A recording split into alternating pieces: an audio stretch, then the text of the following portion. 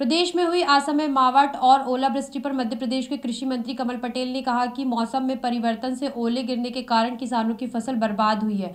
करीब 500 स्थानों पर ओले गिरे, जिससे चने और गेहूँ की फ़सल बर्बाद हुई है। मैं किसानों से निवेदन करता हूँ कि उन्हें घबराने की ज़रूरत नहीं है। सरकार किसानों के साथ खड़ी हुई है। एग्रीकल्चर कॉलेज की खाली भूमि पर प्राकृतिक खेती करवाएँ। हर विभाग में थर्ड पार्टी का पूरा एक सिस्टम बनाए, जो हमारी कमियों के बारे में हमें निष्पक्ष रूप से जानकारी दे। साथ ही उन्होंने शिक्षा को लेकर और भी कई बातें की। मौसम में परिवर्तन के कारण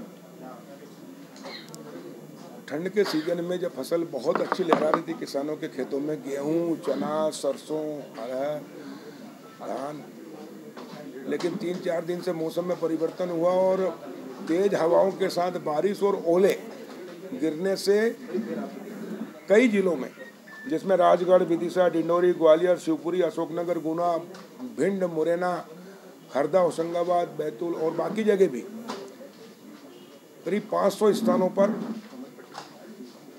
ओले गिरे। तेज हवा के साथ बारिश के कारण फ़सल आड़ी हो गई चौपट हो गई और ओले से पूरी चने की और गेहूँ की फ़सल और बाकी फ़सलें भी पूरी तरह से कई जगह नष्ट हुई हैं। ये किसानों के ऊपर जिस प्रकार कोरोना का संकट सौ साल में नहीं आया, ऐसा ये ओले भी इतनी बड़ी क्षेत्र में कभी नहीं गिरे जितने इस बार गिरे हैं। और इसलिए बहुत बड़ा संकट आया है किसानों का, लेकिन मैं किसान भाइयों से निवेदन कर रहा हूँ कि आपको घबराने की ज़रूरत नहीं है, चिंता करने की ज़रूरत नहीं है। भारतीय जनता पार्टी की सरकार किसानों की सरकार है, गरीबों की सरकार है। केंद्र में और प्रदेश में प्रधानमंत्री नरेंद्र मोदी जी, केंद्र में और प्रदेश में माननीय मुख्यमंत्री शिवराज जी, किसानों के साथ इस संकट में खड़े हैं।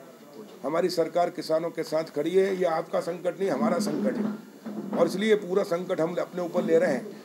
और सभी कलेक्टरों को माननीय मुख्यमंत्री जी के निर्देश पर हमने निर्देशित कर दिया, सभी डीडीए उप संचालकों को निर्देशित कर दिया है कि 24 घंटे के अंदर सर्वे करें।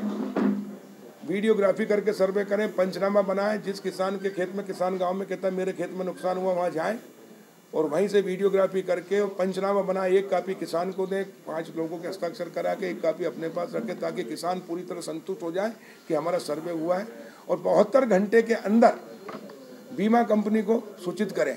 बीमा कंपनी के भी मैं कल हरदा गया था दौरे पे तो बीमा के कलेक्टर और डीडीए तीनों को लेकर गया था साथ में और बहत्तर घंटे के अंदर अधिसूचित कर देते हैं तो बीमा कंपनी 25 परसेंट राशि तत्काल हम राहत दिला देंगे और पिचहत्तर परसेंट राशि जो बचेगी, वो जब फ़सल कटा, कटे कटाई प्रयोग होगा, उस समय उनको दिया जाएगा। और इस प्रकार एक एक किसान का जो क्षति हुई है, उसको हम बीमा जिनका हुआ है, शत प्रतिशत उनको उपलब्ध कराएँगे और जिनका बीमा नहीं है, उनको आरबीसी छः चार में देंगे, ताकि किसान की क्षति की पूर्ति करके, कर सकें, ताकि जो नुकसान हुआ है, वो किसान का ना हो।